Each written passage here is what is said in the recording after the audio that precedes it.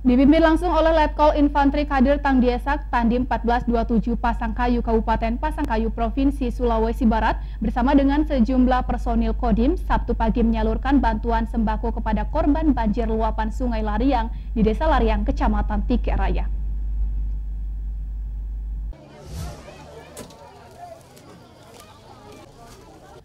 Pasca dilanda banjir luapan Sungai Lariang beberapa hari lalu, ratusan kepala keluarga yang berada di tenda pengungsian mulai kekurangan pasokan makanan, akhirnya mulai mendapatkan bantuan dari berbagai pihak. Bantuan berupa sembako untuk konsumsi sehari-hari pada Sabtu pagi datang dari Kesatuan Kodim 1427 Pasangkayu yang diserahkan langsung oleh Komandan Kodim dan diterima oleh perwakilan masyarakat di tenda pengungsian. Rasa gembira pun tampak dari wajah-wajah para pengungsi korban banjir yang berada dalam tenda pengungsian berukuran kurang lebih 4 kali 6 dengan peralatan duduk dan tidur seadanya.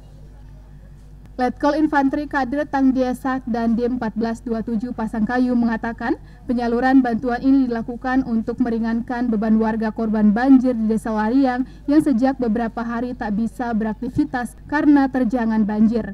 Fokuskan karena di sini adalah titik beratnya kegiatan uh, bantuan sehingga nanti akan dari pihak, pihak Badan Penanggulangan Bencana untuk membantu diskusi. Bantuan ini kami berikan kepada saudara-saudara kami yang ada di Lariang ini ada beras, kemudian Indomie, kemudian ada uh, air mineral, kemudian ada telur, kemudian ada juga uh, minyak goreng.